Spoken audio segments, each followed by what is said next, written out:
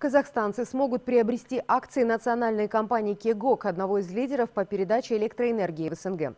Сегодня фонд «Самруказна» официально объявил о выходе своей дочерней компании на фондовый рынок в рамках реализации программы «Народное IPO». Точное количество акций и их стоимость будут известны в первой половине ноября, перед началом подписки. Купить ценные бумаги можно будет через брокерские компании или Каспочту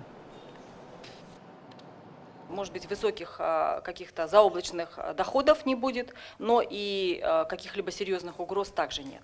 Поэтому компания устойчива, предсказуема, бизнес присутствует.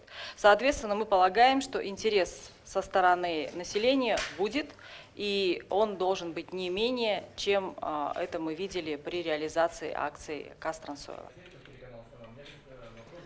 Народными акционерами компании «Кастрансойл» уже стали свыше 34 тысяч казахстанцев. Доход, выплаченный в виде дивидендов, превысил 25% от первоначальной стоимости акций. Для участия в программе отбирались наиболее стабильные компании. В дальнейшем планируется выход на народное IPO «Самрук Энерго», «Казахстан Тимиржулы» и «Казатомпром».